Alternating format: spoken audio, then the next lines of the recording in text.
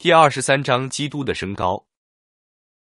我们已经探讨了基督的降卑，基督在他降卑的状态中为选民赢得了救恩。现在我们来考察基督的升高，基督在他升高的状态中，把他所赢得的救恩应用在他选民的身上，使他们成为救恩的领受者。这一状态或被称为升高 （exaltation） 的状态，比如在腓立比书二章九节，所以上帝将他升为至高。又赐给他那超乎万名之上的名，或被称为荣耀 （glory） 的状态，比如在的路加福音二十四章二十六节，又进入他的荣耀，岂不是应当的吗？基督是上帝的位格之一，按其神性而言，他并没有受苦；但是按其人性而言，他受苦了。所以按其神性而言，他并没有升高，升高的是他的人性，在其神性之中，他始终都是至高者。至荣者、不变者。然而，在基督降卑的状态中，他的神性隐而不显；而在他升高的状态中，他的神性就大大地显明了。但是，他的升高仍然是指他的人性而言的。基督在其降卑的状态中，他以中保的身份行作一切，并承受了各样的痛苦。虽然根据救赎之约，他为他自己赢得了荣耀，但这一切都是为了使选民得益处。一切益处都是由他而临到选民身上的。在基督升高的状态中，一般划分为四个部分：死里复活、升天、坐在上帝的右边、在临审判。一、基督从死里复活。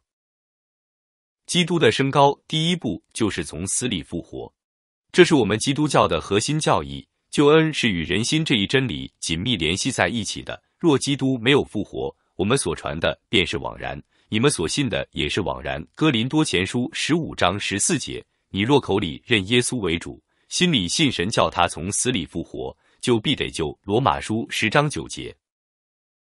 所以，圣经中对于这一真理有大量的清晰的阐述，有时用复活表明。马太福音二十八章六节，有时用从死里复活。罗马书四章二十四节。有时用又活了启示录二章八节，我们必须考察基督复活的真实性、必要性和益处。一、基督复活的真实性。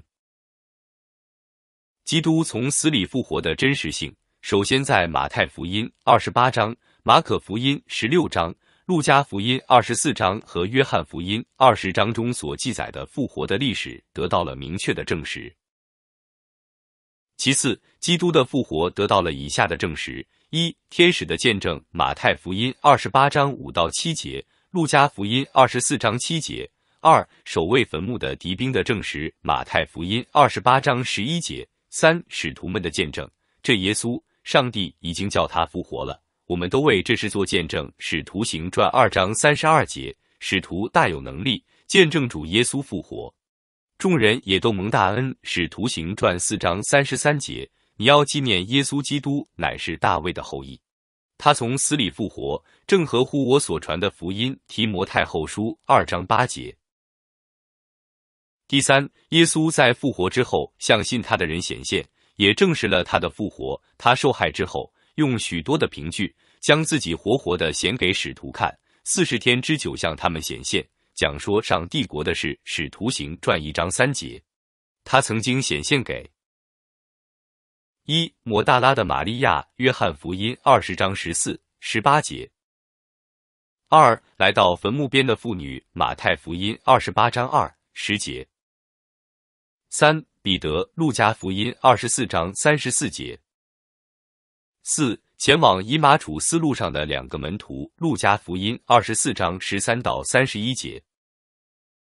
五十一个使徒，多马不在场。约翰福音二十章十九节。六八天之后，在托马斯在场的时候，再次向十一个使徒显现。约翰福音二十章二十六节。七七个去打鱼的门徒。约翰福音二十一章一节。八在加利利向十一个门徒显现，基督召他们到那里。马太福音二十八章十六节。九一时显给五百多弟兄，哥林多前书十五章六节。十雅各提摩太前书十五章七节。十一，他升天时向众使徒显现，使徒行传一章九节。十二，他升天之后向斯提凡显现，使徒行传七章五十五节。十三，保罗使徒行传九章十七节，哥林多前书十五章八节。十四，向约翰显现，把启示录赐给约翰。如此，基督向他的子民显现。对于那些傲慢的拒绝他的不敬虔之人而言，基督则认为不值得向他们显现。关于基督的复活，有几个方面需要注意：一、基督的复活曾经有地震相伴，当他死的时候发生了地震，圣殿的幔子被撕裂了；在他复活的时候又发生了地震，这不仅显明了他的神性，也显明了圣殿对当时的犹太人及其土地的震怒。他们所居住的地方很快就会毁灭，成为荒凉之地，其中的居民会痛苦的消亡，他们的宗教也会从他们手中拿走，转移到外邦人那里。同时还表明，一切祭祀的礼仪现在都要终止，不变的宗教取而代之。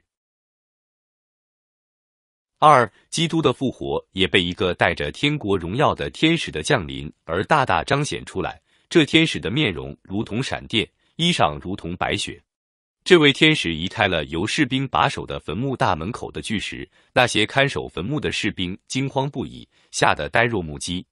但是对于那些妇女，天使则说：“不要惊恐，你们寻找那钉十字架的拿撒勒人耶稣，他已经复活了，不在这里。”他的话后来也得到了另外两位白衣天使的证实。这不仅显明了天使的圣洁，更是显明了基督复活的喜乐和胜利。三，至于基督复活的季节是发生在春天，那时昼夜等长；至于复活的日期是发生在他死后的第三天，他并没有三天三夜七十二小时在坟墓中。这样的话，他就是在第四天复活了。他只是在坟墓中连续停留了三天。礼拜五日落之前，犹太人的一天是以日落结束的，从礼拜五的日落时分到礼拜六的日落时分，这是第二天。从礼拜六的日落时分到礼拜天的日出时分，这是第三天。我们把第三天也算作一整天，这样基督就在坟墓中待了三天。第三天日出的时候复活的。因此，要找出这三天到底是哪三天，不需要从基督在克西马尼园中的受苦算起，也不需要把十字架上黑暗的三个小时计算在内。它是明亮的晨星，启示录二十二章十六节。公义的日头，马拉基书四章两节，是来自高天的日光。路加福音一章七十八节，是照亮外邦人的大光。他在天刚亮的时候活了过来。基督没有更早的复活过来，使人完全确信他真的死了。他也没有在更晚的时候复活。如此，根据诗篇十六篇十节，他的身体就没有朽坏，他整个的身体保存完好，适于重新接受灵魂。在犹太人安息日的时候，基督仍然还在坟墓中，但是安息日并不预表基督躺在坟墓里。一，在圣经中找不到这样的说法。二，在礼拜五和礼拜天的时候，基督也在坟墓里。三，安息日是喜乐的日子，而基督躺在坟墓里，则是令人感到极其悲哀的事。四，基督被埋葬是他降碑的一步。并不是升高的一部分，埋葬属于基督受苦的一部分，灵魂与身体分离，因此基督躺在坟墓里，并不是他休息的时间。在使徒行传二章二十六节说他的肉身安居在指望之中，这并不是说基督是在这样的状态中安息了，从中得到喜乐，而是说他安居在他深信不疑的复活的指望之中。五，假如安息日预表基督的埋葬。我们就不会再有安息日了，因为那样安息日就会与其他所有的礼仪一起终止了。但是关于安息日的诫命却是永远有效的，这在以后的章节中会有详尽的说明。所以安息日并不是预表性的。基督在一周的第一日复活，既然整个的礼仪崇拜都终止了，在安息日特别举行的影子和预表的侍奉就必然发生转变。从那一时刻起。安息日是在基督的复活日谨守，这就是使徒约翰所说的主日。启示录一章十节。从那时起，教会一直是在主日守安息日。四，基督静静的起来，从容不迫，正如人从睡眠中醒来，去掉睡衣，穿戴整齐，基督也是这样，把丧衣以及遮盖他脸部的围巾留在坟墓里，他们叠在一起，放在一个特别的地方。约翰福音二十章七节。基督自身就是他复活的原因。基督的人性由身体和灵魂两部分组成，这两部分在死亡的时候分开了，但在基督的神性，身体与灵魂始终是合一的，他们仍然是上帝之子的身体和灵魂。在基督复活的时候，基督这一上帝的位格又从乐园，也就是第三层天，把他的灵魂发回来，使其重新与身体联合。如此，他就借着他自己的大能，使他所取的人性重新活了过来。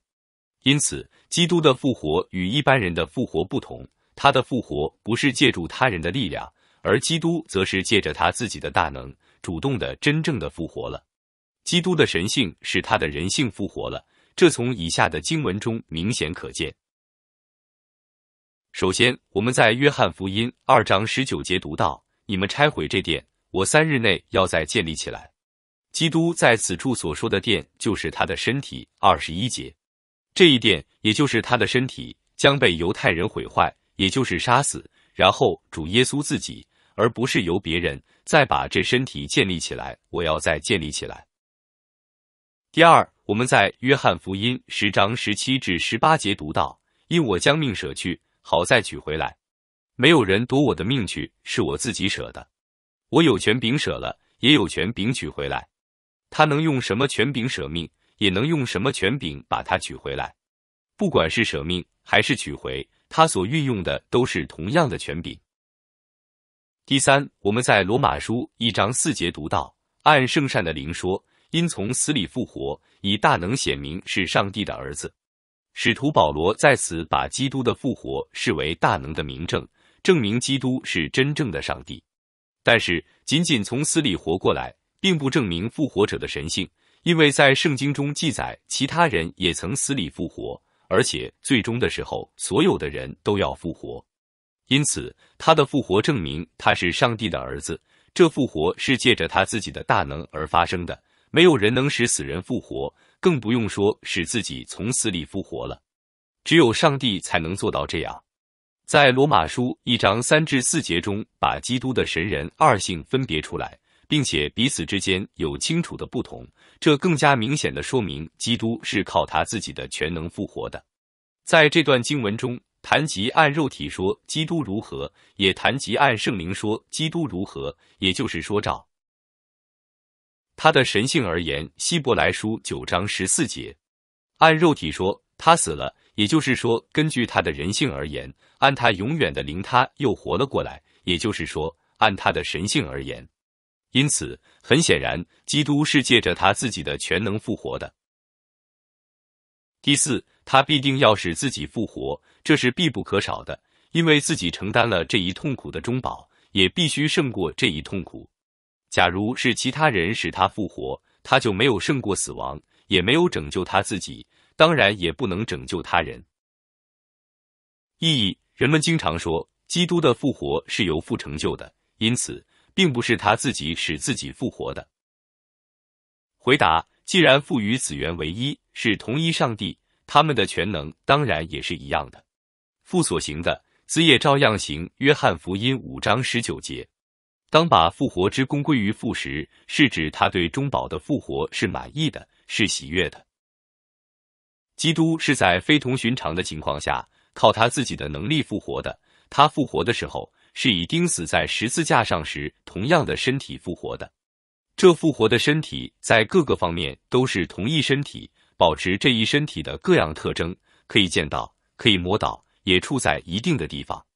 他的双手和双脚仍有钉痕，他的肋旁仍有枪矛捅伤的痕迹。你们看我的手，我的脚，就知道实在是我了。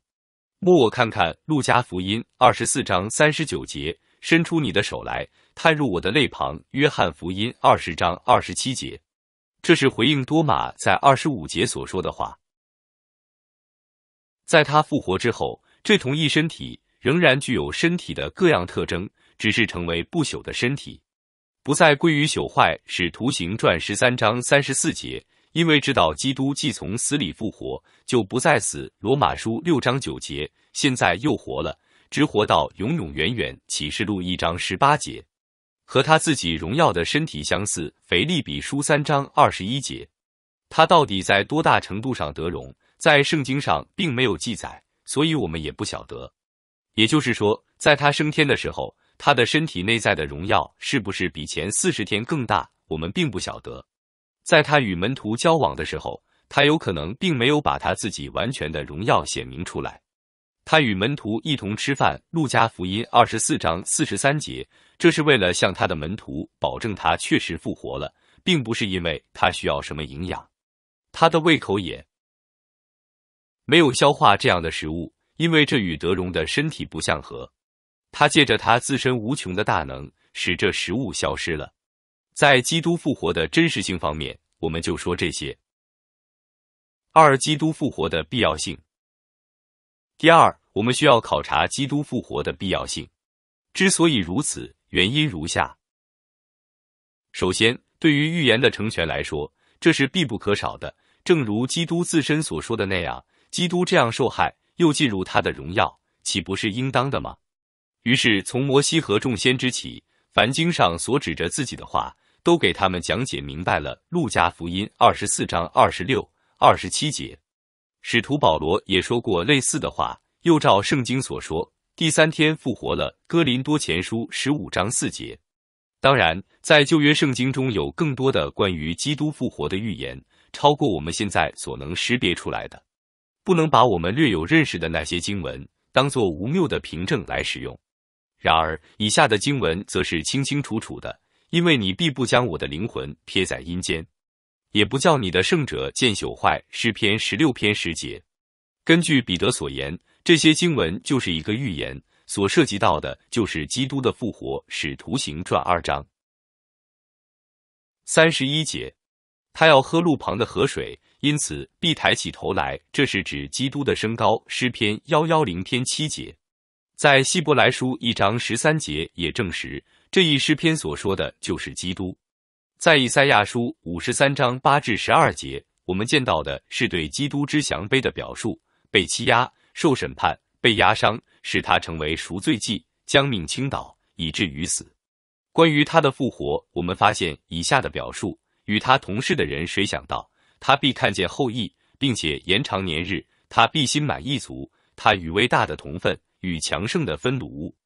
使徒行传八章三十二节、三十五节以及新约圣经的一般经文都证实这一章所说的就是基督。第二，预表必须应验，很多事情都是与基督的复活一致的，都可以在某个方面用在基督复活上。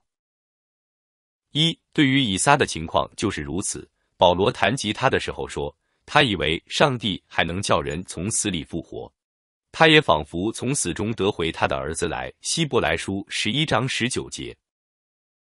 二约瑟也是如此，他被从坑里拯救出来，然后又被从监狱里拯救出来，此后被安置在高位上。创世纪四十一章。三参孙也是如此，他将加萨城的门扇拆下来，救他自己脱离了仇敌的手。是诗记十六章。四想一想，替罪羊阿撒谢勒立位记十四章四到七节。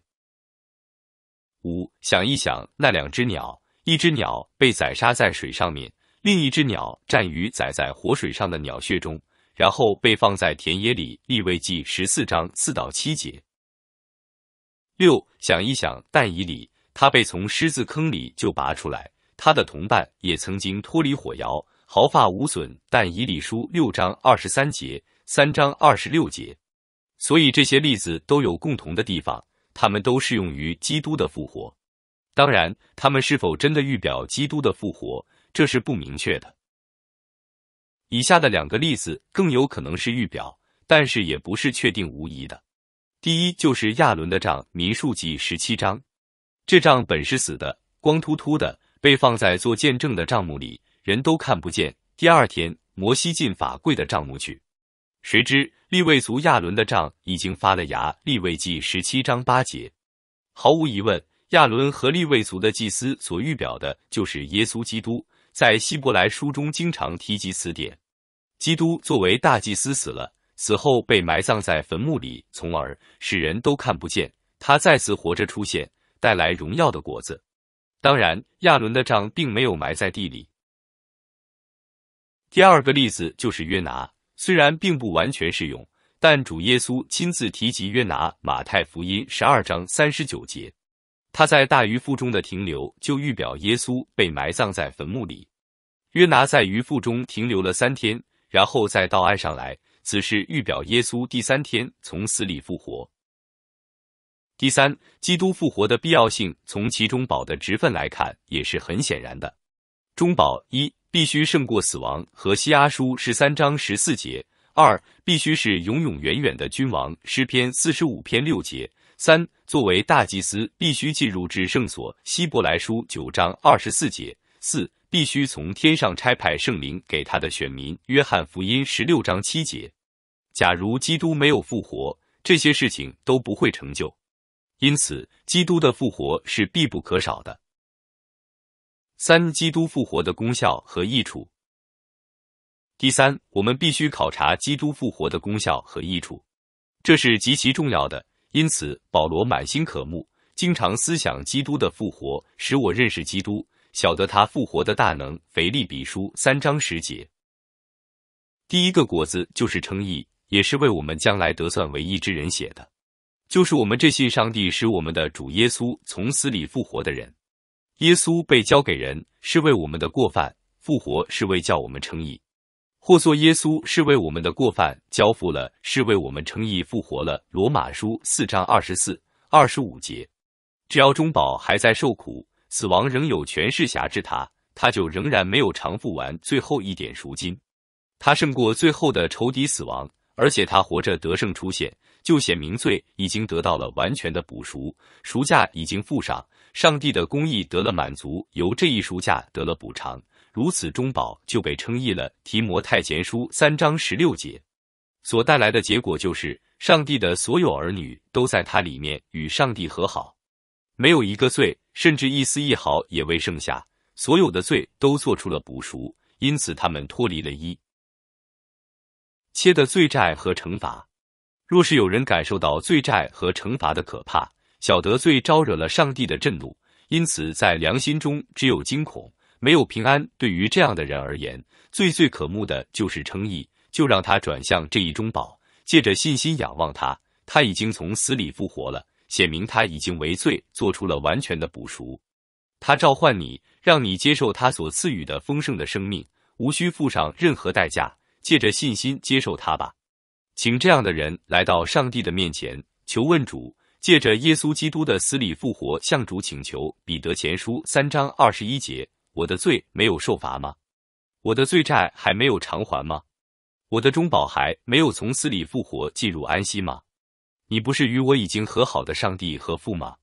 我还没有与你和好吗？唯愿这样的人根据赐给所有借着信心接受基督之人的应许，努力把基督的复活应用在。自己的身上，直到最终他经历到基督复活的大能，使他称义，并与上帝和好。第二个果子是成圣。使徒保罗在罗马书六章四至五节说明了此事。所以，我们借着洗礼归入死，和他一同埋葬，原是叫我们一举一动有新生的样式，像基督借着父的荣耀从死里复活一样。我们若在他死的形状上与他联合，也要在他复活的形状上与他联合。保罗在哥罗西书中也强调了此点：你们从前在过犯和未受割礼的肉体中死了，上帝赦免了你们，或作我们一切过犯，便叫你们与基督一同活过来。哥罗西书二章十三节。所以你们若真与基督一同复活，就当求在上面的。哥罗西书三章一节。信徒虽然晓得自己已经称义了，但他们对此并不满足。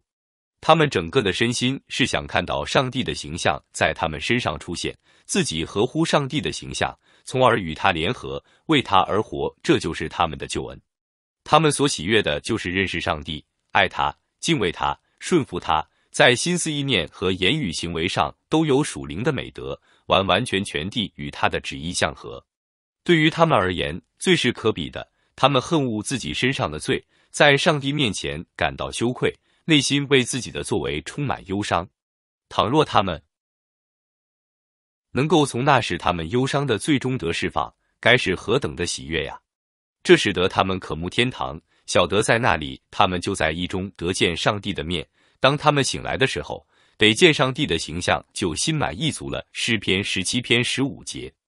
哦，唯愿这成为你内心的渴慕，促使你一心一意的过圣洁的生活。因为主为他的孩子们所设定的道路，就是当他们如此征战的时候，使他们满有喜乐的在成圣方面不断成长、不断前进。一要把基督的复活视为榜样和模式。基督是在清晨复活的。你当养成一醒来就默想基督的复活的习惯，让每次醒来、每次起床都成为激励你与基督一同复活的机会。基督是在一周的第一天复活的，所以在每一个安息日的时候，都当纪念基督的复活，使你自己与他的复活联合，使之成为你新的灵命复兴的契机。基督离开了坟墓，那是死人待的地方。同样，你也当根据你自己的职业。尽量避免与世俗的不敬虔之人的往来，他们是死的，发出臭气，而且他们的恶臭能感染人。基督把裹尸布留在坟墓里，你也当憎恶那被肉体污秽的衣裳，把一切有罪的事都撇在索多玛和埃及，也就是坟墓里，离弃荣誉、美物、娱乐以及一切属世的东西。基督活着出现，也让你的光这样发。出来，使每个人都感受到你和罪人却有极大的不同之处。要用你的行为表明你已经离弃世人所依恋的一切，在爱上帝、敬畏上帝的事上显明你的爱心、谦卑和属天的生活，让上帝的形象和基督的样式在你身上显明出来。这样行，并不是为了让人看见，而是为了使基督得荣耀，使世人晓得自己的罪，并鼓励到那些敬虔的人。基督复活之后，在他升天之前，有四十天之久向人显现，与人来往，目的就是使人相信他确实复活了，并使他们的信心得以坚固。同时，他之所以这样行，也是为了使他的教会得益处，直到世界的末了。你的生活目的也当是在世上敬前度日，使那些认识你的人认识错误，得到鼓励。同时，你这样行也是进入天堂之前的准备。二，让基督的复活激励你过圣洁的生活。使徒保罗就是这样教导的。这样，你们向罪也当看自己是死的，向神在基督耶稣里却当看自己是活的。我们若在他死的形状上与他联合，也要在他复活的形状上与他联合。罗马书六章十一五节。因我们想一人既替众人死，众人就都死了，是叫那些活着的人不再为自己活。乃为替他们死而复活的主活。哥林多后书五章十四、十五节，以使徒为榜样，可以得出以下的结论：既然基督作为我的中保，已经通过他的死消除了我所有的罪，我怎能仍然生活在罪中呢？我难道不当与他一同从罪的死亡中起来，在各样的圣洁上与他同行吗？我们灵命复活所需要的大能，就蕴含在基督的复活之中。他曾照自己的大怜悯，及耶稣基督从死里复活，重生了我们，叫我们有活泼的盼望。彼得前书一章三节，使我认识基督，晓得他复活的大能。腓利比书三章十节，每个信徒都是主耶稣的肢体，那在基督身上的圣灵也在他们的身上，他是借着同一位圣灵活着。头经历什么，肢体也必定经历什么。既然元首基督已经复活了。那次生命的大能就流进他的各个肢体，他是树干，信徒连在他的身上，正如被连上的枝条接受枝叶和生命的大能一样，信徒也接受了基督那次生命的大能。若是借着信心与复活的基督联合，就会意识到来自基督的那次生命的大能使我们的灵魂活过来。基督复活的第三个果子就是信徒蒙福的复活。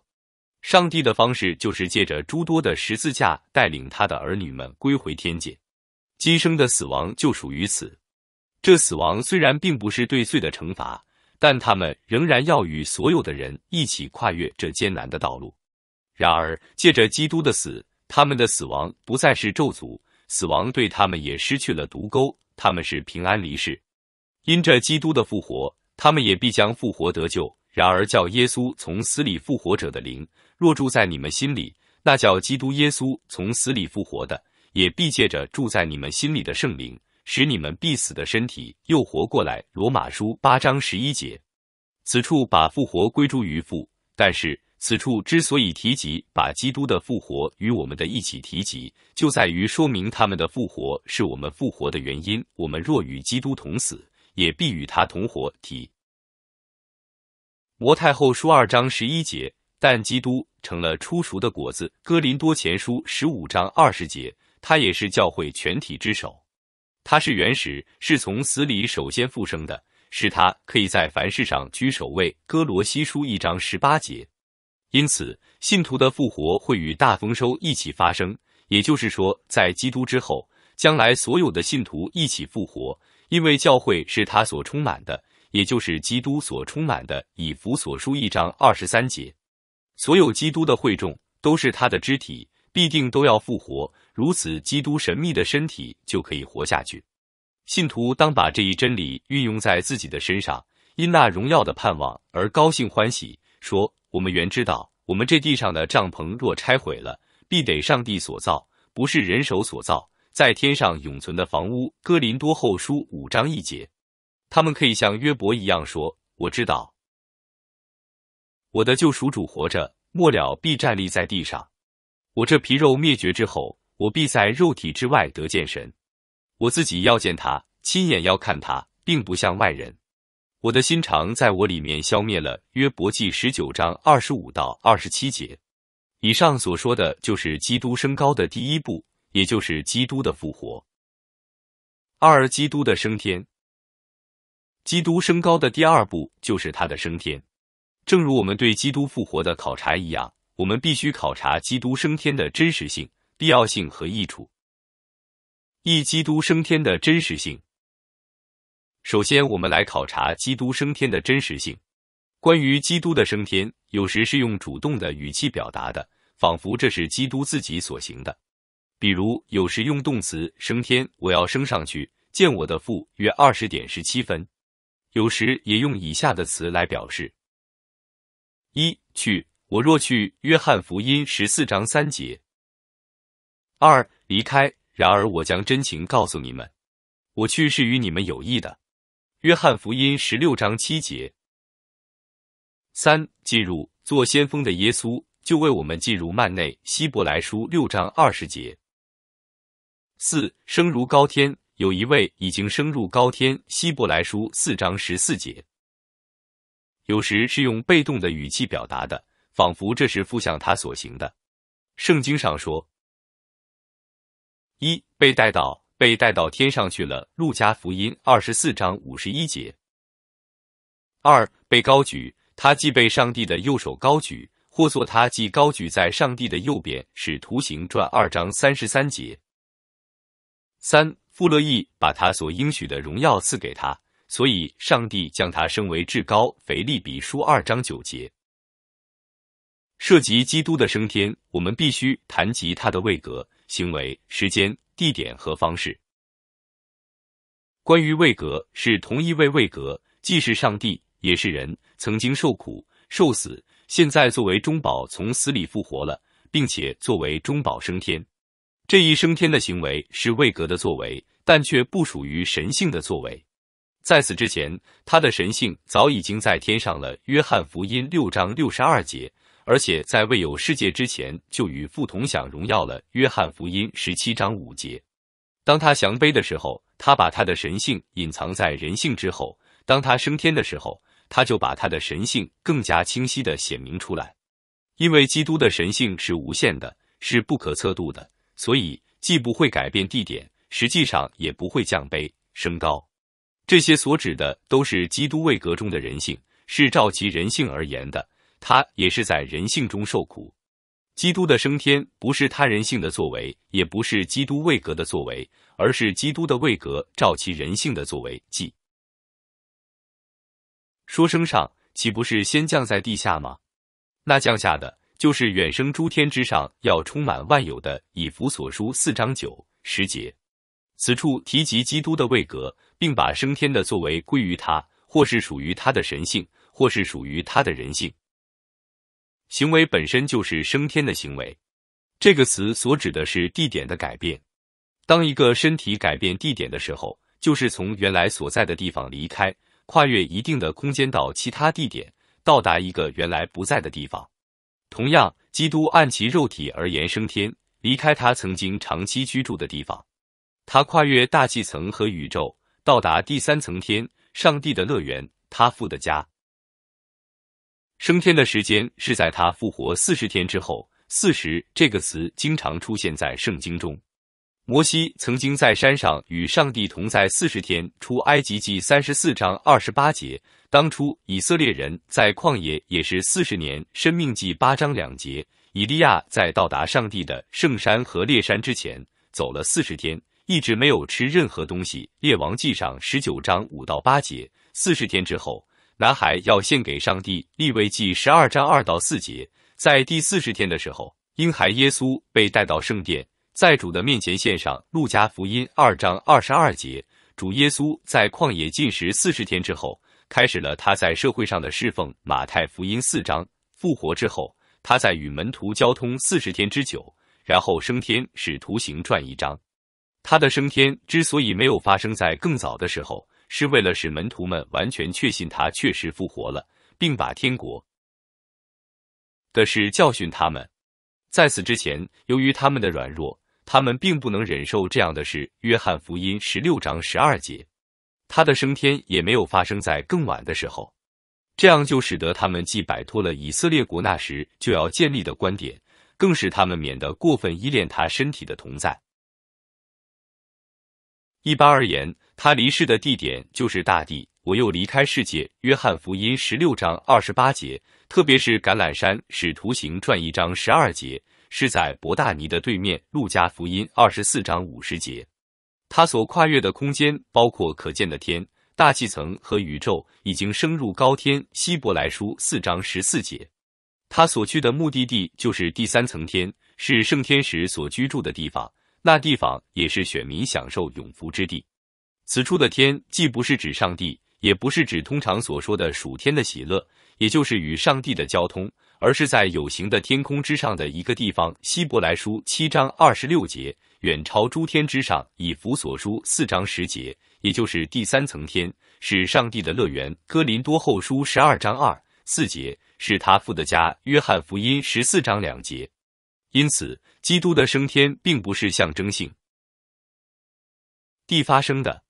也不仅仅在于他的身体消失了、不见了，如此得了荣耀，成为无所不在的身体。假如这样的话，只是一种状态的改变，并不是地点的改变。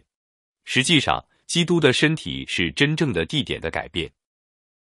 基督升天的方式是极其显明的：一正祝福的时候，基督升到天上。路加福音二十四章五十节，他与门徒说话。以熟悉的友善的方式向他们告别，他向他们宣告祝福，并当下应验在他们的身上，因为他们大大的欢喜，回耶路撒冷去。路加福音二十四章五十二节。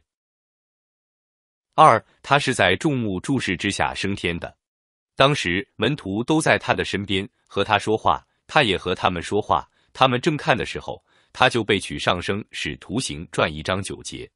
就像以丽莎看着以利亚升天一样，使徒们也看着耶稣被取上升，直到有一朵云彩出现在升天的耶稣和注视的门徒之间，如此他从他们的视野中消失了。这并不是说云彩直接升天，好像把基督载在车里一样带走了。基督得荣的身体并不需要这样，而且如果这样的话，就与与圣经中的记载不符。圣经中记载说，有一朵云彩把他接去了。这样，他就从他们的视野中消失，他们也无法定睛望他了。三，他是以荣耀的方式升天的，胜过了死亡、魔鬼和阴间，由千千万万的圣天使陪伴，如此进入上帝宝座之前的第三层天。上帝上升，有喊声相送，耶和华上升，有角声相送，诗篇四十七篇五节。由此看来，很显然，基督的升天是真实的、可见的，有地点的改变，是确确实实的发生了。针对路德宗人士的主张，我们希望用以下的证据做出更多的证明。首先，就其人性而言，基督在他升天之前并不是无所不在的，同样，在他升天之后也是如此。当他在某个地方的时候，就不在别的地方。我没有在那里，就欢喜。这是为你们的缘故，约翰福音十一章十五节。所以在圣经中清楚的说，在他升天之后，他既不在地上，也不在世上。我又离开世界，约翰福音十六章二十八节。因为常有穷人你们同在，只是你们不常有我。马太福音二十六章十一节。意义：这样的经文适用于他可见的存在，但并不适于他身体的临在。回答。这样的主张是没有什么根据的，在圣经中并没有做出这样的分别，而且这与身体的本性也是相悖的，因为所有的身体都是可见的。当以利亚在山上与基督说话的时候，虽然他已经有了德荣的身体，仍然是可见的。第二，天使也证实此点，他们正看的时候，他就被取上升，使图形转一章九节。他们之所以看不见基督了。并不是因为它变成了无形的、不可见的，而是因为有一朵云彩出现在他们中间，把它接走，从他们的视野中消失了。因此，天使说：“这离开你们被接升天的耶稣，你们见他怎样往天上去，他还要怎样来。”使图形转一章十一节。基督升天的时候是在众目的注视下升天的，在将来审判的大日，他驾云降临。众人也都要看见他。马太福音二十四章三十节，当涉及身体的时候，不管是被接走还是上升，所指的都是地点的改变。使徒们在这一方面提供了充分的见证参考。马可福音十六章十九节，路加福音二十四章五十五十一节，提摩太前书三章十六节。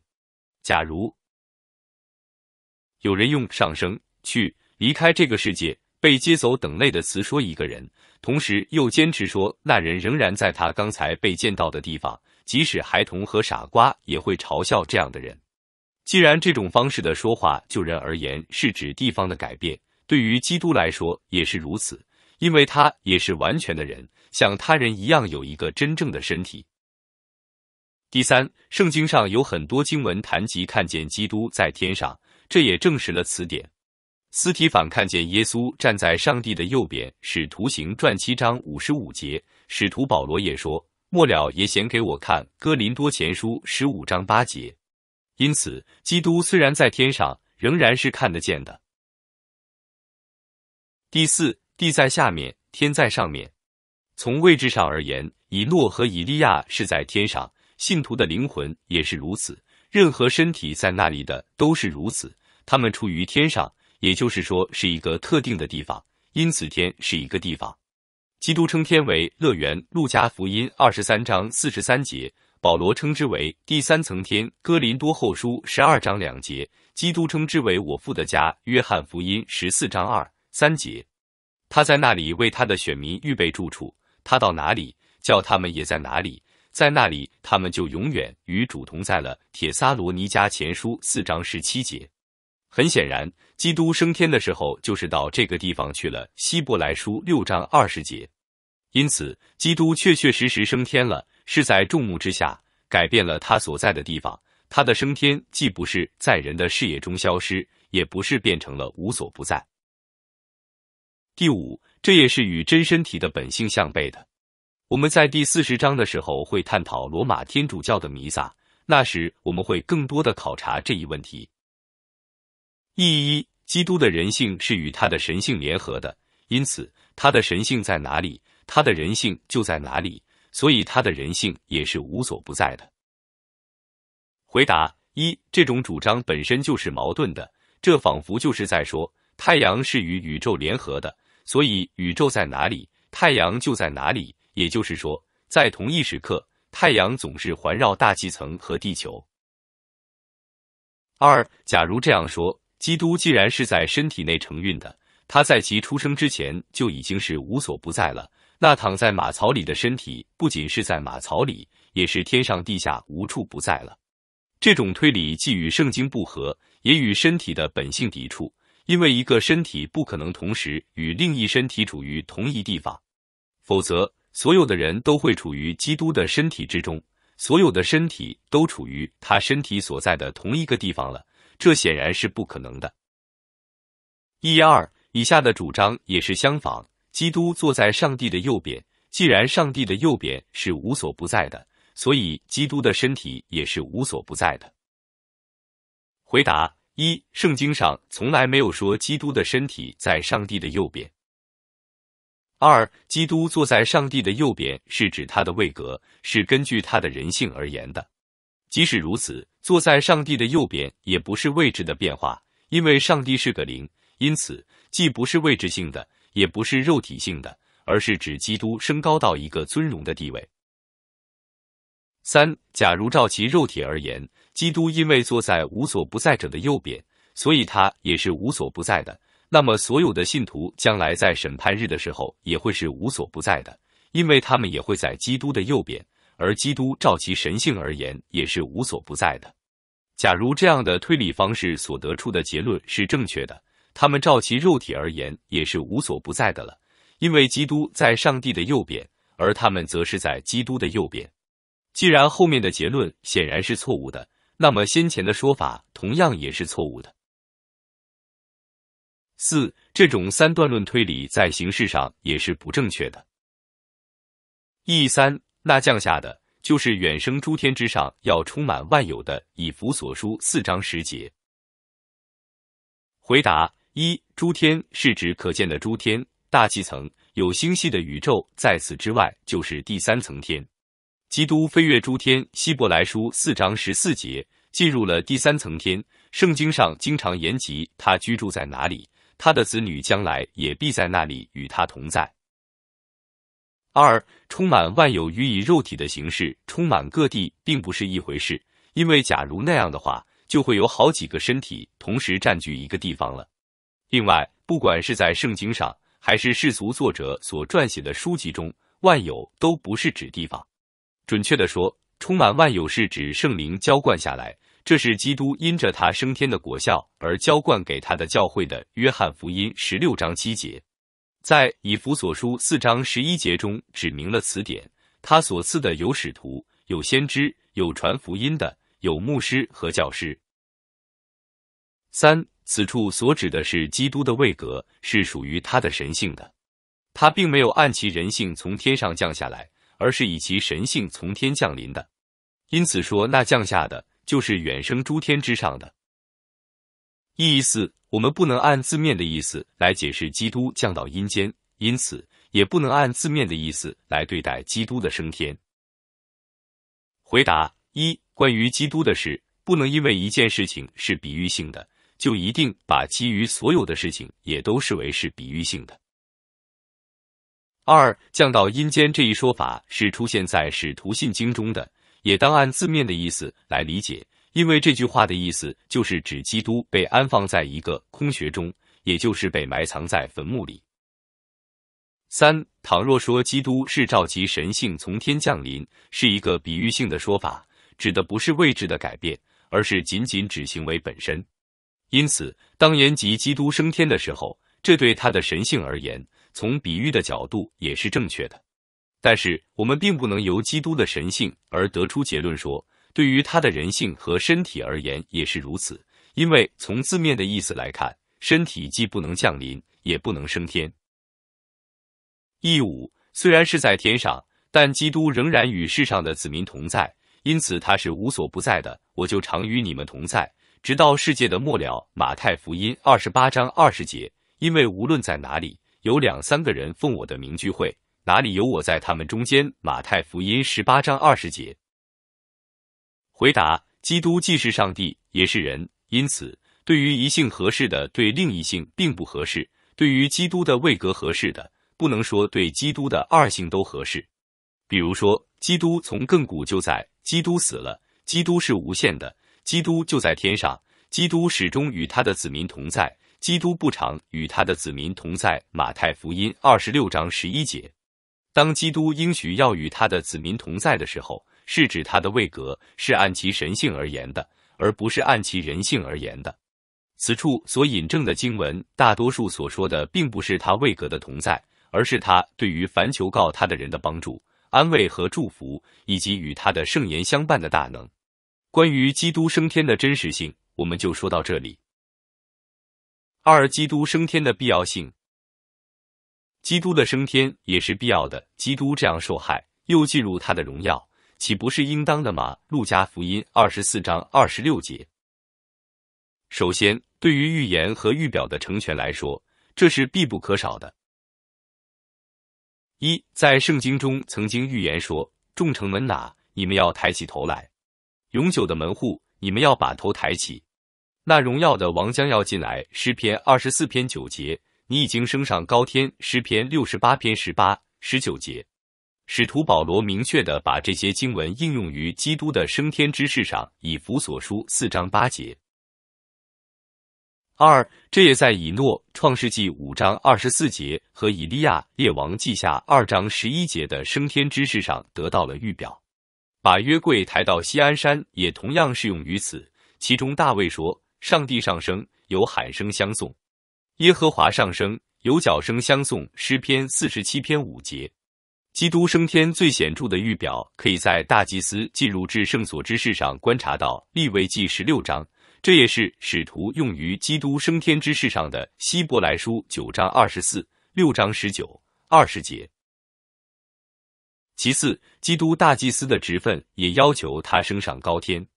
在旧约中，大祭司仅仅是杀死祭牲还不够。他的职分要求他带着寄生的血进入至圣所。同样，基督仅仅是默默的受苦受死，为赎他子民的罪而死还不够，他还必须带着他的血，也就是他受苦的功效，进了进了天堂。如今为我们显在上帝面前。希伯来书九章二十四节，这是他担任大祭司的两大职分，是不能截然分开的。他若在地上，必不得为祭司。因为已经有照律法献礼物的祭司，希伯来书八章四节。三、基督升天所带来的益处。首先，涉及到基督，对于信靠他的人而言，基督的升天给他们带来极大的快乐。他为我们的缘故成为贫穷，多经忧患，忍受世人的轻蔑，但如今他胜过了这一切，胜利的进入了天庭。当初大卫在他众子民的陪伴下。把约柜从俄别以东的家中搬运到西安山，那一日对于所有的以色列人而言，都是一个大喜的日子。大卫被圣灵充满，就在约柜前跳舞。历代至上十五章，诗篇的作者唱道：“上帝啊，你是我的上帝，我的王。人已经看见你行走，进入圣所。歌唱的行在前，作乐的随在后，都在击鼓的童女中间，从以色列源头而来的。”当在各会中称颂主上帝，诗篇六十八篇二十四到二十六节。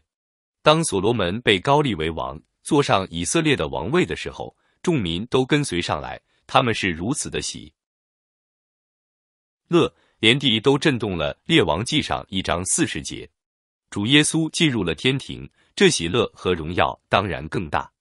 当他进入天庭的时候，众天使天君陪伴他，当是何等的欢喜啊！当那些得荣的圣徒见到他进入天庭的时候，当是何等的欢喜呀！父是何等欢喜的接待他呀！因此，我们也当跟随他，大声欢呼。曾被杀的羔羊是配的权柄、丰富、智慧、能力、尊贵、荣耀、颂赞的启示录五章十二节。第二，对于信靠他的人而言，基督的升天对他们也有极大的益处。借着他的升天。他通过受苦和受死为他们所赢得的一切都归给他们，特别是大卫诗篇六十八篇十八节和保罗以弗所书四章八节，他们把两件事与基督的升天联系在一起。他掳掠了仇敌，为人领受了各样的恩赐。一，他掳掠了仇敌，选民生来就是魔鬼的俘虏，因此也是世界和各样的邪情私欲的俘虏。不管你读到还是听到这样的信息。也是如此。然而，基督借着他的死亡征服了这些仇敌，在他升天的时候，公开的胜过了他们。过去的罗马人在征服他们的敌人之后，就会举办一个凯旋的仪式，进入罗马城。那时候，他们就带着俘虏游行。基督在升天的时候也是如此行的。那些曾经俘虏他的众子女的，现在成了基督的俘虏。基督在升天的时候就把此事显明出来。因此，假若是你与基督有份，就当把关魔鬼、世界和自己的邪情私欲视为已经被征服的仇敌，他们已经受到了捆绑，你已经从他们的暴力和辖制中被拯救了出来。充满信心，为此欢喜庆贺吧！此啊，你得胜的权势在哪里？此啊，你的毒钩在哪里？哥林多前书十五章五十五节，他们对你再也没有辖制的权柄了。当然，他们确实经常向你发动猛烈的进攻，给你带来诸多的创伤，使你大大忧伤。但是，他们只能做到征服者容许的程度。征服者放松捆绑他们的锁链。他们就在某种程度上放肆，而且征服者晓得他在多大程度上可以放松锁链而不致造成危险。他希望向他的子女们表明，他把他们从何等可怕的狮子和重负中救拔出来，使他们从而有更加感恩的心。他希望在战斗中磨练他们，使他们也成为征服仇敌的人，使他们与他一同得胜。因此，在这场征战中，当刚强壮胆。晓得基督的仇敌不会掳走一只羊，即使只有少许的力量，也会得胜，最终作为征服者而披戴冠冕。二，从基督的升天，也为人生发了各样的恩赐。一个爱基督的人，必定渴慕荣耀他的主，必定愿意把他人也带到他的面前来。为此，他们需要各样的恩赐，比如知识、智慧、胆量、教导的恩赐等。主耶稣借着他的受死为他们赢得了这些恩赐，并借着他的升天获得了把这些恩赐赏给选民的权柄，并根据他们在各自工作中的需要，根据他们侍奉他的愿望，把这些恩赐赏给每个人。任何人若是发自内心的想使人晓得基督的荣美，愿意带领他人与基督相契，他就当相信基督现在已经在天上。他之所以领受了各样的恩赐，目的就在于赐给人。那些为了见证他而谦卑的祈求的人，必能得着。你们中间若有缺少智慧的，应当求那厚赐与众人，也不斥责人的上帝，主就必赐给他。雅各书一章五节。第三，圣灵的浇灌也是基督升天的果子之一。当然，在基督升天之前，信徒就已经因着他将来的升天而得到了圣灵，否则他们就不会成为基督的产业。也不会得到重生，也不会凭信心生活祈祷。他们曾经为这一圣灵而祈求，不要从我收回你的圣灵。诗篇五十一篇十一节，你的灵本为善，求你引我到平坦之地。诗篇一百四十三篇十节，就是考察在他们心里基督的灵。彼得前书一章十一节。但是就其位格和程度而言，那时圣灵的临在不那么丰富和显明。但在基督得荣之后，他就按预言所记载的，把他的圣灵丰富的浇灌下来。我要将我的灵浇灌你的后裔。以赛亚书四十四章三节，因我已将我的灵浇灌以色列家。以西结书三十九章二十九节，以后我要将我的灵浇灌凡有血气的。约珥书二章二十八节，这一预言的应验在使徒行传二章十六至十八节可以见到。主耶稣曾经在好几个地方做出这样的应许。耶稣这话是指着信他之人要受圣灵说的。那时还没有赐下圣灵来，因为耶稣尚未得着荣耀。约翰福音七章三十九节，请看约翰福音十六章七节：我若不去，保惠师就不到你们这里来；我若去，就差他来。信徒晓得，他们心中属灵的意象都是圣灵造成的。他们渴慕圣灵的交通，渴慕圣灵住在他们的心中。他们不断的为此祈求。若是感受不到他的临在，感受不到他大有果效的运行，他们就感到忧伤。但是他们必须抓住真理不放，那就是圣灵就住在他们的心中，而且始终与他们同在，直到永远。他们知道非常明确，基督已经升天。同样，对于基督升天的果子，也就是他们享有圣灵的同在。他们也当深信不疑，所以在祷告的时候要常常牢记，基督的升天就是他们横切祈求那住在他们心中的圣灵加增其运行的基础。基督升天的第四个果子，就是他施行其大祭司的第二个职分，也就是代祷。这是我们在前面的章节中已经探讨的。借着他的代祷，基督为他们预备地方。约翰福音十四章三节，他在天上担任他们的元首，他们已经与基督一同坐在天上。以弗所书二章六节，他在天上为他们的先锋。希伯来书六章二十节，持续的为信徒铺就来到上帝施恩宝座前的道路。使徒恳切的奉劝我们来到上帝的施恩座前，弟兄们，我们既因耶稣的血得以坦然进入至圣所，是借着他给我们开了一条又新又活的路，从幔子经过。这幔子就是他的身体。又有一位大祭司治理上帝的家，并我们心中天良的亏欠已经洒去，身体用清水洗净了，就当存着诚心和充足的信心来到上帝面前。希伯来书十章。十九到二十二节，所以当操练你的信心，借着基督的升天来到上帝的座前，在那里你会发现见到你所信靠的耶稣，然后提出你心中所渴慕的，仿佛你自己就在那里一样。基督代表你在那里为你预备地方，最终也必会把你带到那里，永远与他同在。当为这一事实而高兴欢喜。基督的升天对于我们的成圣而言也是大有果效的。既然元首已经在天上了，他所有的肢体必定也变得有属天的心智。借着基督的升天，他们就不断受到鼓励，追求圣洁的生活。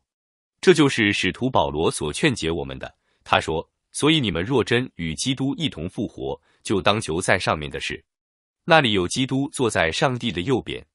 你们要思念上面的事，不要思念地上的事。”哥罗西书三章一两节。上帝的子女啊，地上到底有什么东西使你迷恋的呢？一，基督并不在世上，他已经离开大地，升上了高天。二，另外，大量的经历也使你晓得，世上的一切不过是虚空，无法满足人心，或是你无法得到你想得到的，仿佛你越是苦苦追求，离你越是遥远。因此，这种虚浮的欲望和躁动使你精疲力竭。即使你得到了你所追求的，你也会认识到这并不是你心里所想得到的，常常不过是一束刺人的荆棘而已。一拥抱，你就会发现伤了自己。是的，这一切不过是污染而已，而所污损的就是你自己。你常常发现这些世俗的得失使你的精神感到沮丧，使你的良心不得平安，攫取了你属灵的自由，影响了你与上帝的团契。使得你持续不断的生活在各样的躁动之中，而且把他的良心都刺透了。这使得你的祷告生活冷淡，充满了不安，丧失了那种坦然无惧的心情。这使得你无法横切祷告，使你得不到通常在祷告中所能得到的心灵的开通，使人常常在祷告中一无所得，空手而归。三，另外。对于身外之物的欲望非常容易增加，而灵命很快就会受到不好的影响，脱离网罗，浮出水面，又常常很快复现其中。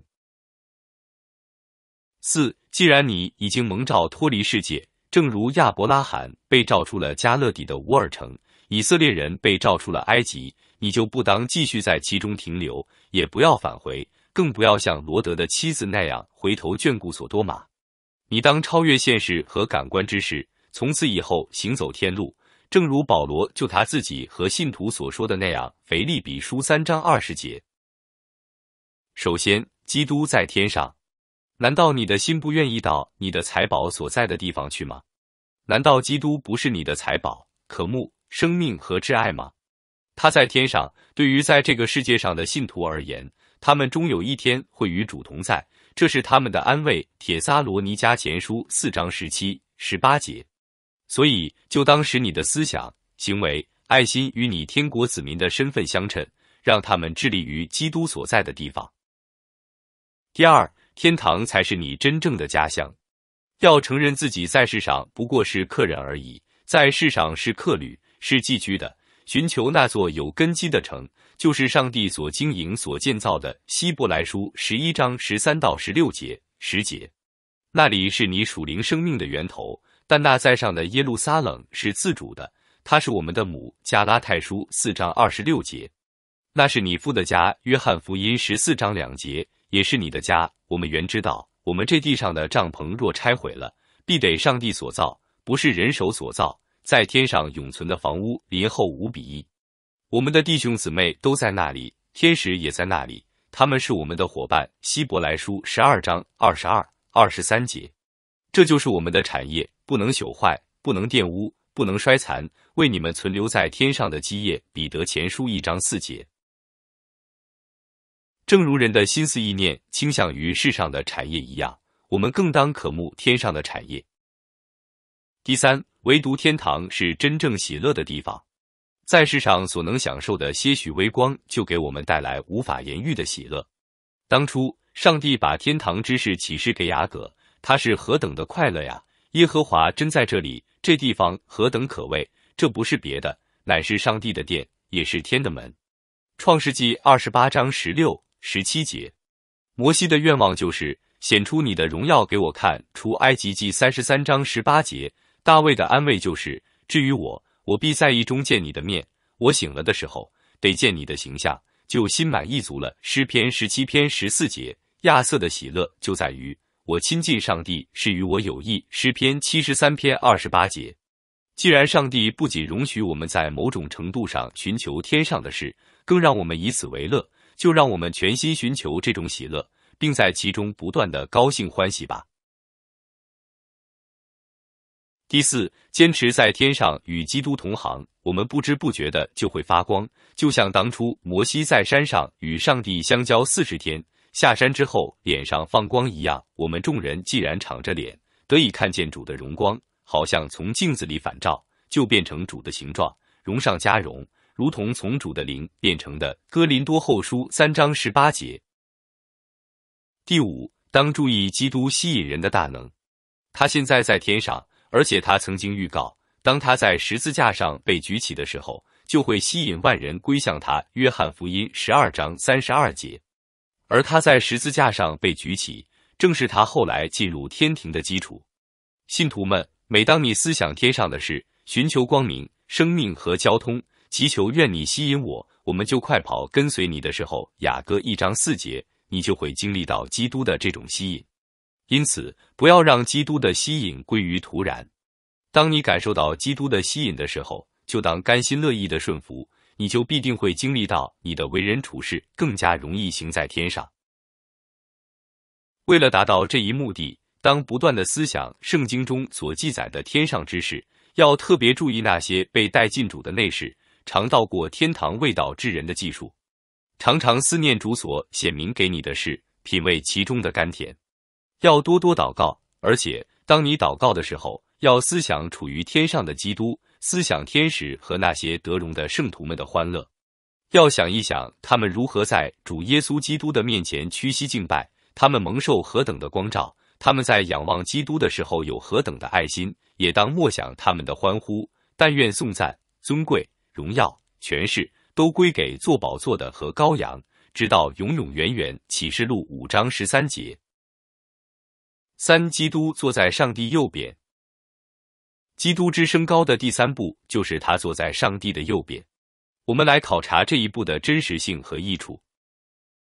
一、基督坐在上帝右边的真实性。首先，让我们来考察基督坐在上帝右边的真实性。圣经中经常证实基督已经坐在上帝的右边，这也是在旧约圣经中所应许的。耶和华对我主说：“你坐在我的右边。”诗篇幺幺零篇一节。在《使徒行传》二章三十四节和《希伯来书》一章十三节证实，这节经文所指的就是基督。在新约圣经中记载，这确实成就了。主耶稣和他们说完了话，后来被接到天上，坐在上帝的右边。马可福音十六章十九节那里有基督坐在上帝的右边。哥罗西书三章一节就坐在高天至大者的右边。希伯来书一章三节。当然。这是一种象征的说法，因为上帝是个灵，与身体没有任何共同之处，也没有与身体类似的地方，因此上帝并没有右手。这一象征的说法是来自人的语言，一般说来人的右手比较有力，主要是用这只手来完成很多事情。所以，上帝的右手所象征的就是力量和大能的施行，保护你右手所在的和你为自己所坚固的枝子。诗篇八十篇十五节，人子坐在那全能者的右边。马太福音二十六章六十四节，因为人把右手视为最重要的，所以他们就把他们希望尊崇的人放在他们的右边。所罗门曾经这样善待他的母亲。列王记上二章十九节。因此，基督坐在善待的右边，所表达的就是他被升高到极其荣耀的地位。他就坐在高天至大者的右边。希伯来书一章三节，已经坐在天上至大者宝座的右边。希伯来书八章一节。因此，圣经上说，基督得了荣耀、尊贵为冠冕。希伯来书二章九节。坐在右边，并不是指比其左边者优越。因为新娘基督的教会也是站在基督的右边的，王后佩戴俄斐金饰，站在你右边。诗篇四十五篇九节。但是他仍然服从基督，因此基督坐在父的右边，是与父的荣耀的大小没有任何关系的。毫无疑问，上帝仍然是至高者，没有任何人能在他之上。想象上帝有右手、中间的手、左手等，并没有任何意义。基督坐在上帝的右边，并没有其他特殊的意义，因为圣经上有时也说基督站在上帝的右边，是图形传七章五十五节；有时说他在那里，罗马书八章三十四节。当然，我们仍然可以从坐在得到甜蜜的默想。一，这给予基督更多的尊荣，因为仆人站着是适宜的。二，这表明基督确实在施行中保的职分。因为坐在宝座或审判座上的君王，就是在施行其治理的职分。三，这表明基督在享受他劳苦之后的甜蜜安息。四，这表明基督永远居住在荣耀里。这样的思想既是可靠的，也是甜蜜的。但是，这是不是隐含在坐在之中，则不是确定无疑的。无论如何，坐在。站着和在上帝的右边所表明的，都是受造物所能得到的极大的尊荣。只有中保基督按照他的人性得到了这样的荣耀，被高举，远远超过所有的天使。使徒谈及此事说：“所有的天使，上帝从来对哪一个说，你坐在我的右边？”希伯来书一章十三节说：“上帝在某人的右边，意思是说这人会得到上帝大能的帮助。说某人在上帝的右边。”则是说他得到了至大的尊荣，二者是略有不同的。如此至大的尊荣，唯独属于基督。圣经上确实也应许说，信徒将来要与基督一同坐在他的宝座上。启示录三章二十一节，这是指基督在降杯和升高他们甜蜜所赢得的益处和荣耀要传递给他们。但是圣经上从来没有说他们坐在上帝的右边，作为中保。主耶稣坐在父的右边，根据他的神性，他与父同治，永远与他同等。因此，从这一方面而言，他是不会得到什么荣耀的。他坐在父的右边，显明他作为唯一的中保，是独一的荣耀的上帝。在他的降杯状态中，这一事实几乎总是隐藏在他的人性之后的。他曾经谈及这样的事实，他说：“父啊，现在求你使我同你享荣耀，就是未有世界以先。”我同你所有的荣耀，约翰福音十七章五节，在他的人性中，他所得的荣耀远超过我们所能想象的。照其人性而言，他所得到的来自上帝的亮光、慈爱和喜乐，是受造物所能承受的极致。在他身体的荣耀上，他胜过他身边的所有人。保罗谈及此事的时候说：“将我们这卑贱的身体改变形状，和他自己荣耀的身体相似。”腓利比书三。章二十一节，二基督在上帝的右边施行他的职分。基督作为中宝座在上帝的右边，这是与他的职分有关。首先是与他大祭司的职分有关。对于君王和先知的职分的施行而言，他祭司的职分是前二者的基础。在圣经中所应许的就是。当他完成大祭司的职分的时候，以赛亚书五十三章十节，他就可以成为君王和先知，保护并教导他的子民。从希伯来书一章三节中明显可以见到，他是作为大祭司坐在父的右边，他洗净了人的罪，就坐在高天至大者的右边，洁净罪属于祭司的职分。此处与坐在父的右边联系在一起，因此所指的就是敌基督的职分。所以，基督是作为祭司坐在父的右边。在希伯来书十章十二节也说明了他作为祭司与坐在父的右边的联系。但基督献了一次永远的赎罪祭，就在上帝的右边坐下了。另外，下面一节经文说的也很清楚，就是我们有这样的大祭司，已经坐在天上至大者宝座的右边。希伯来书八章一节。第二，他也是作为先知坐在上帝的右边。圣经上说，他从那里差派他的圣灵来教导他的子民。他既被上帝的右手高举。或作他既高举在上帝的右边，又从复受了所应许的圣灵，就把你们所看见、所听见的，但自己说：“主对我说，你坐在我的右边。”使徒行传二章三十三、三十四节。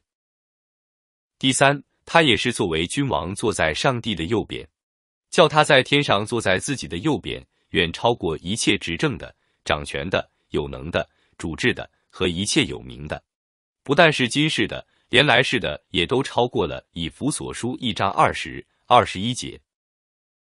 耶稣已经进入天堂，在上帝的右边，众天使和有权柄的，并有能力的，都服从了他。彼得前书三章二十二节。有时说坐在上帝的右边是基督的作为，后来被接到天上，坐在上帝的右边。马可福音十六章十九节。参考希伯来书八章一节。他已经完成了他在世上当做的一切工作，但是仍然需要在天上成就诸多的工作。当然，并不是处于地上那种降卑的状态，而是在荣耀的状态中。在为他自己并为他子女的益处赢得荣耀之后，他就得了这样的荣耀。这与上帝与他所立的约是一致的。这一坐在上帝的右边，也常常归于父的作为。他既被上帝的右手高举。或作他既高举在上帝的右边，使图形传二章三十三节赐他荣耀尊贵为冠冕。希伯来书二章七节。既然他已经满足了条件，复就公义的诏约赐给他那样的荣耀，所以我要使他与伟大的同分，因为他将命倾倒，以至于死。赛五十三比十二，在腓利比书二章九节说。父照其恩宠，根据希腊文版本赐给他一个名字。这并不是说基督并没有赢得这一名字，而是说，因为父的要求已经得了满足，父就在完全的恩宠和爱中，把这一超乎万名之上的名赐给了他。涉及到选民，也可以这样理解：为了选民的缘故，基督被恩惠的赐下，目的就在于完成选民得救所需要的一切。关于这一教义的真实性，我们就说这些。三、基督坐在上帝右边的益处。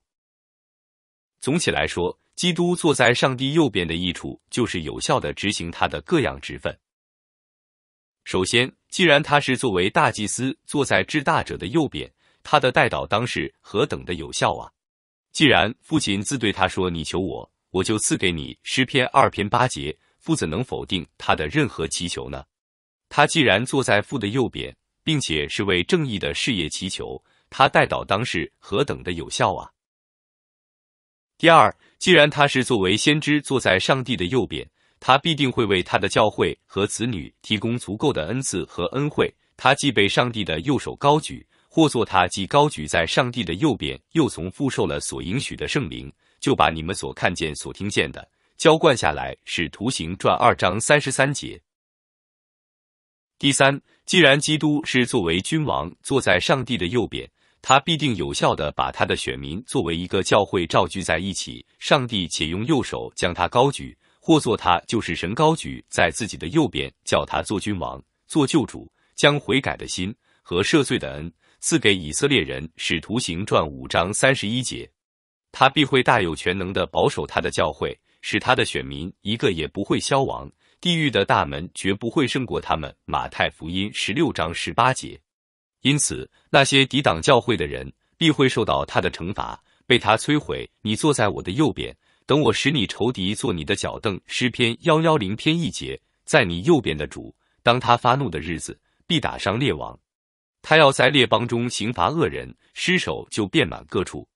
他要在许多国中打破仇敌的头。诗篇幺幺零篇五六节。四，基督再来施行审判。基督升高的最后一步就是他再来施行审判。在基督的升高中，前面的几步都是世人所看不见的，只有信主的人才能借着信心见到。但是，基督再来施行审判。尽管只是借着信心接受未来必要发生的事，却是所有的人都会看到的，没有一个人例外。基督作为审判者，必要再来施行审判，这是基督升高的一步，其确定性在以下的经文中明显可见：地上的万族都要哀哭，他们要看见人子有能力、有大荣耀，驾着天上的云降临。马太福音二十四章三十节，当人子在他荣耀里同着众天使降临的时候。要坐在他荣耀的宝座上，马太福音二十五章三十一节，并且因为他是人子，就赐给他行审判的权柄。约翰福音五章二十七节，因为一词所指的就是他的受苦和受死，他的受苦和受死成全了救赎之约的条件，由此他得了审判世界的权柄。此处我们比再多说，因为在第三卷中我们将进一步探讨。一基督之升高的应用，在结束基督的降杯一章的时候，我们曾经谈及其普遍的应用。现在我们要把基督的升高和基督的降杯放在一起考察，得出其中的应用。唯愿信心使我们在前面所探讨的事宜化为现实。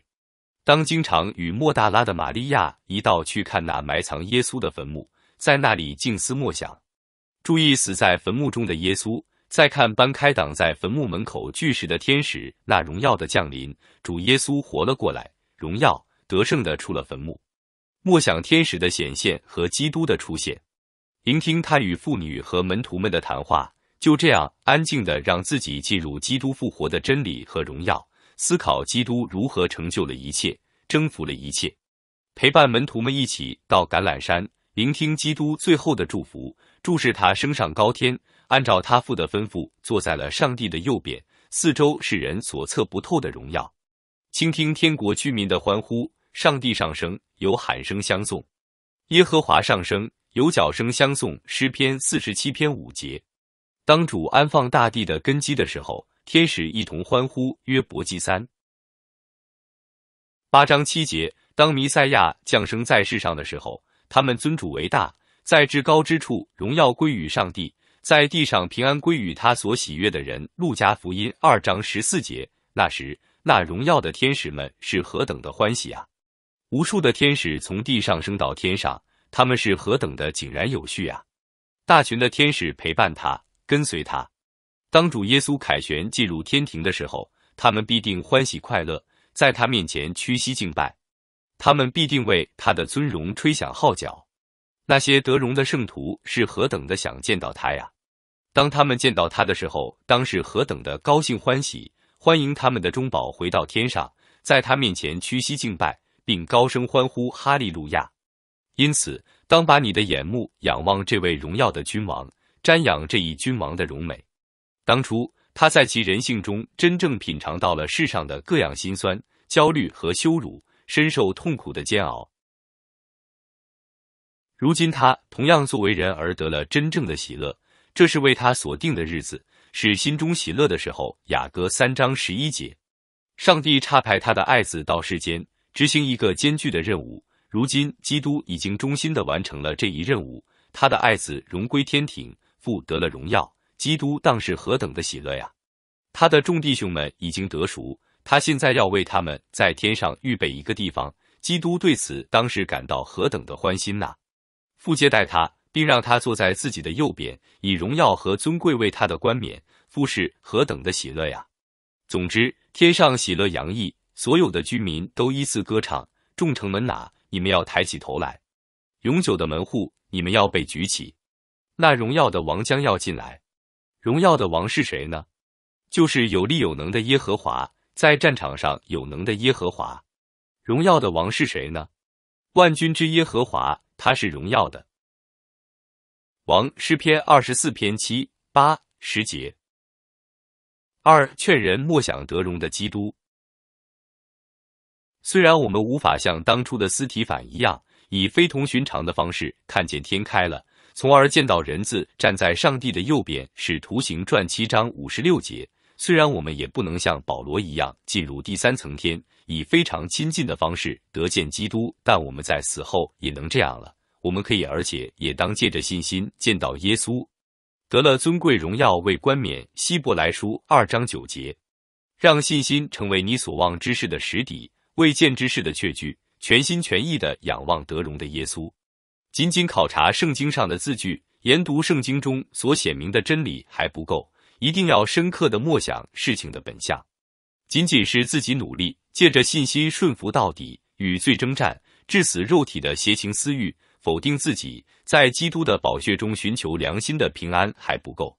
仅仅是思考基督的降杯，在他的降杯中寻求赎罪还不够。仅仅思考这些事情所导致的是极大的枯干、不幸和犹豫不定，如此行也会拦阻人灵命的成长。并使人无法正确的荣耀耶稣。如果在默想基督降杯的同时，也默想基督的升高，就会带来极大的灵命成长、安慰和力量。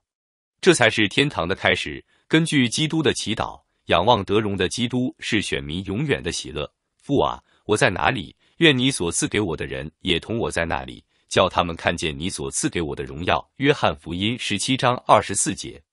为了促使我们在地上如此的默想，已经在天上得荣的他，他也照他自己的应许，在地上向那些真心爱他的人显现。爱我的必蒙我父爱他，我也要爱他，并且要向他显现。约翰福音十四章二十一节，这一应许就是激励人寻求的。这样的显现也会激发爱，爱使得人思想他，而默想他又得蒙更清晰的显现，如此循环往复。当时你自己习惯于默想这一德荣的基督，并且使你对他的默想在各个方面不断扩大。首先，当默想这一德荣的基督就是上帝，耶稣基督，我们的中保，并不仅仅是一位荣耀显赫的人物，他是在万有之上永远可称颂的上帝。罗马书九章五节，这是真神。约翰一书五章二十节。他是上帝荣耀所发的光辉，是上帝本体的真相。希伯来书一章三节，他本有上帝的形象，并与上帝同等。腓利比书二章六节，这就为默想提供了无限的空间。当人得以认识耶稣是独一的永生的上帝，并得见他各样完美的属性，循序渐进，就会晓得他至大的充足、无上的威严、全能、公义、荣耀、慈爱、怜悯。明白受造物有限的理性无法认识主耶稣的这些方面，更不用说彻底透悟了。那时人就会不再盯着自己。如果这样行，当然不是纯粹的理性上的思想，也不是仅仅道听途说，而是亲自经历这样的洞见，确实经历并品尝到那些人所不能透悟的完美属性的果效和甘甜。如果在这一切中默想作为中保的耶稣。默想，他确实是如此显现的。思想上帝本性一切的丰盛，都有形有体的居住在基督里面。哥罗西书二章九节，也就是说，是真真确确的。如果得见他的荣光，正是复读生子的荣光。约翰福音一章十四节，那么我重申，人就不会再盯着自己，那时人就会全心全意的把荣耀和尊贵都归于他，在他面前屈膝敬拜。默念你威严的尊荣，诗篇一百四十五篇五节。第二，继续默想耶稣，他以威严和尊荣为冠冕，在赐予他的荣耀中为中宝。保罗在以下的经文中所说的就是此事，所以上帝将他升为至高，又赐给他那超乎万名之上的名，叫一切在天上的、地上的和地底下的，因耶稣的名，无不屈膝，无不口称耶稣基督为主。使荣耀归于父上帝。腓利比书二章九到十一节，他所承受的名，既比天使的名更尊贵，就远超过天使。希伯来书一章四节，当初彼得、雅各和约翰曾经在变相山上得见主耶稣这一荣耀的显现，这在马太福音十七章二至五节有记载。现在他既然已经征服了一切，与父一同坐在他的宝座上。他所得到的荣耀又当是何等的大呢？启示录三章二十一节，在那里，他作为得胜者被尊为所有选民的救主，诸多的智慧、恩典、公义、真理等等，都是借着他显明给天上和世人的。在那里，他被宣告并立，为承受万有的。希伯来书一章两节，天上地下的一切，不管是日月星辰、风霜雨雪，连同地上一切的动物，从最大的巨兽到小小的蚂蚁，毫无例外，唯独他是万有的承受者。是的，即使那些不敬钱的人，甚至那些大小的邪灵，也都在他所承受的产业的范围之内。他按他自己的旨意使用他们，使那些与他一同为后嗣的得益处。并使父的名的荣耀，他不仅具有后嗣之名，而且确确实实为后嗣。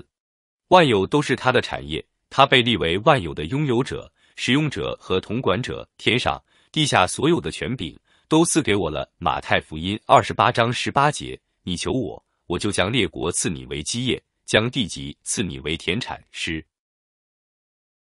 篇二篇八节：他要执掌权柄，从这海直到那海。从大河直到地极，诗篇七十二篇八节，因为基督必要做王，等上帝把一切仇敌都放在他的脚下。哥林多前书十五章二十五节，他是坐在施恩宝座上的大祭司。希伯来书四章十四到十六节，作为唯一的大先知，他所赐的有使徒，有先知，有传福音的，有牧师和教师，为要成全圣徒。各尽其职，建立基督的身体。以弗所书四章十一、十二节，要承认他确实如此，并把荣耀归给他。第三，接着默想天使和人都是如何对待他的。上帝的使者都要拜他。希伯来书一章六节，他们都甘心乐意的听从他的吩咐，并差派他们到各处完成他的命令。每当从他得到一个特别的命令的时候，他们就作为火焰予以执行。诗篇一百零四篇四节，请注意，在他的荣耀面前，各样的邪灵也是恐惧战惊。他已经胜过了他们，伤了他们的头。即使他们仍然负隅顽抗，也不过是处于他的掌管之下。没有他的允许，他们连猪群里也无法进入。想一想以下的事实：全世界所有的信徒都是单单仰望他，都把他视为信心的中心和巅峰。想一想，他们如何跑向他，以他为他们的拯救；他们如何信靠他的翅膀的护佑，如何在他面前谦卑自己，欢呼荣耀和尊贵、赞美与全能都归给羔羊，直到永永远远。当信主的人如此集中自己的注意力，一一默想这些事情的时候，他的心就会常常的为爱所点燃，他必然会为基督的荣耀而高兴欢喜。仿佛听到天使、德荣的圣徒和世上的圣徒对主的赞颂，他必会发现他的心灵非常容易的加入了歌唱的大群，与他们一同欢呼。你们要向上帝歌颂，歌颂，向我们的王歌颂，歌颂，因为上帝是全地的王。你们要用悟性歌颂，上帝做王治理万国，上帝坐在他的圣宝座上，列邦的君王聚集，要做亚伯拉罕之上帝的民。因为世界的盾牌是属上帝的，他位至高。诗篇四十七篇六到九节。为了进一步激发你致力于这样圣洁的默想，请考虑以下的方面：首先，你的心思意念不可能没有任何思想。你所默想的主题越是尊荣，你的思想就会在其中发现更大的愉悦，也会在追求完全的过程中不断长进。但是，唯有德荣的基督才是我们集中思想的荣耀的对象，再也没有比德荣的基督更荣耀的默想对象了。所积蓄的一切智慧知识，都在它里面藏着。哥罗西书二章三节。若是与德荣的基督相比，世上的东西都是低级的、粗俗的、腐败的。你的心思意念不当，为这些东西占据。假如没有在其中见到上帝的同在，一切都不过是影子而已，转瞬即逝。给你的灵魂所带来的只不过是伤害、压抑和败坏。为什么把你的眼目集中在这些虚幻的东西上呢？这一德荣的基督是今世之子所无法企及的，所以他们的心思意念就沉溺于这些世俗的东西，从中得到些许的乐趣。对于他们而言，再也没有别的。但是信主的人呐，你是认识耶稣、渴慕耶稣的，除了仰望这位荣美帝君王之外。你心灵的眼睛还要瞻望什么呢？以赛亚书三十三章十七节。若是开始的见主耶稣，世上的一切都会失去那迷人的光泽，把你的恋慕转离世上之物，就是一件轻而易举的事。假如你的眼目常常转离耶稣，就当为这样的行为感到羞愧。假如你的眼目转离他，这就会拦阻你灵魂的喜乐，使你无法思念天上的事，导致极大的黑暗临到你的身上。这一切都会成为你每天的经历。在这样的情况下，人的心思就会逐渐地下沉，归向世上的东西。要想在隐秘处，在远离世俗的地方与耶稣相契，用鸽子的眼睛仰望他，就得常常把时间和精力从这些世俗的事物中解脱出来。第二，对于上帝的孩子而言，再也没有比仰望耶稣更令人愉悦的事了。上帝的愿望就是他的每个孩子都欢喜快乐，因为他经常劝勉他们如此。应许说，他要迎接那欢喜的人。以赛亚书六十四章五节，没有什么能比仰望得荣的耶稣更使他们心中持续不断的高兴欢喜。所以，让你对耶稣的默想成为甘甜。在与主甜蜜相交之后，摩西坦然的向主表明他了他内心的渴慕，说：“求你显出你的荣耀给我看。”出埃及记三十三章十八节。主是如此的仁慈，他并没有完全否决摩西的这一请求。他对摩西说：“他太软弱了，无法承受他的荣光。”然而，他仍然向他显明了他的荣耀，宣告他的名从摩西的面前经过。这是确实发生了。出埃及记三十四章六节。仔细思考，做出判断，是否还有任何东西比以下的事更能使你渴慕、喜悦？如果主耶稣手拉手的把你带进他的内室，向你显明与救赎之功相关的各样的属天的奥秘，并向你显明他作为上帝一切完全的属性，以及作为中保所得到的荣耀，让我们进一步假定，他用爱心向你保证说，他一切的荣耀和完全都是为了你，都是为了使你得益处。圣父、圣子和圣灵一起把你提升到无法测透、无法言喻的喜乐之境。并用他的慈爱和知足满足你今世和永世一切的需要。你自己说，还有比这更令人喜悦的事吗？当初主耶稣正是用这样的应许来安慰他的门徒们，使他们高兴欢喜。我也要爱他，并且要向他显现，并且我们要到他那里去，与他同住。约翰福音十四章二十一、二十三节。另外，除了你在圣经中所读到的有关的描述之外，还有那些曾经得见主面的敬虔之人所做出的愉悦人心的记载，还有你自己特别经历到的，我敢肯定，你的心灵必定会更加渴慕莫想得荣的耶稣。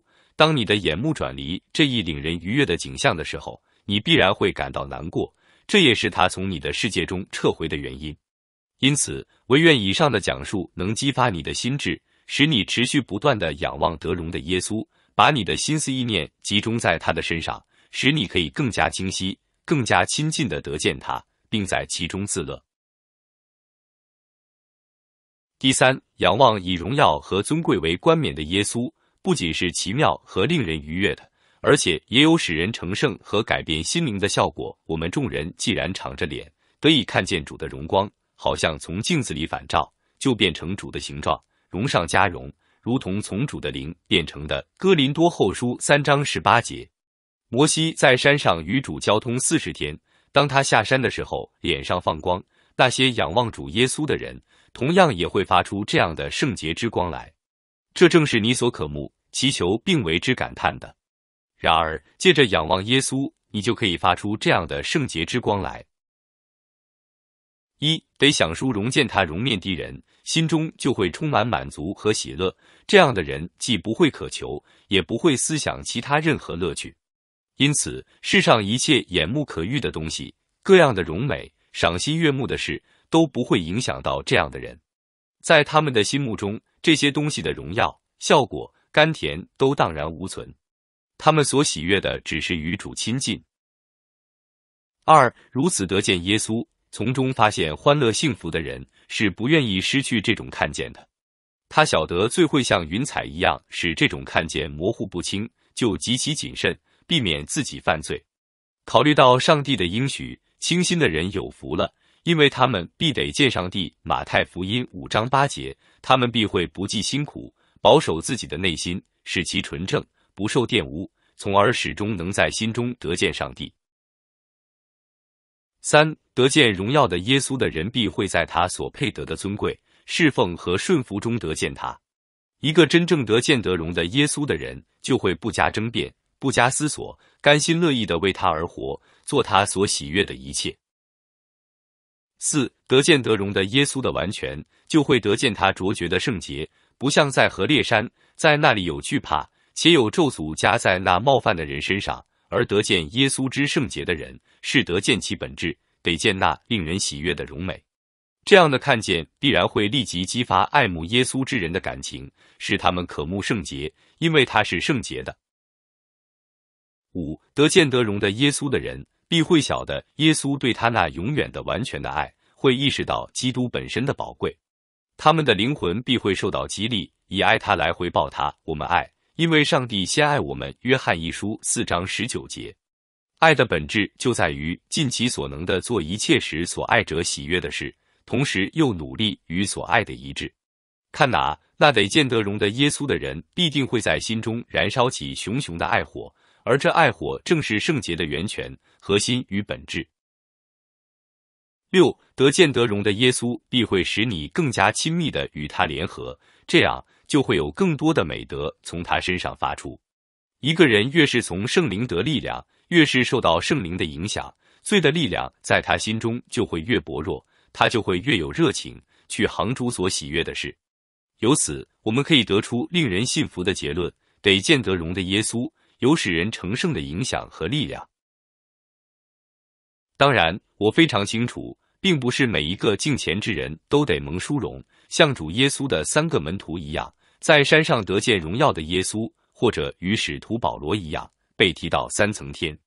我也晓得有些人读到这里会感到难过，现在沮丧之情中，认为我的内心是何等的幽暗呐，我的灵命是何等的低下呀，在我的一生中，竟然从来都没有见到过得荣的耶稣。但是要晓得，熟悉这一方面的事，感受到爱的激励，当你听闻。阅读此类事情的时候，发自内心的有渴慕之情，因为迄今为止还没有达到过这样的境界，所以就难过、忧伤。这些正是你蒙恩的证据。因此，内心这样的波动，正当激励我们积极的寻求得见得荣的基督。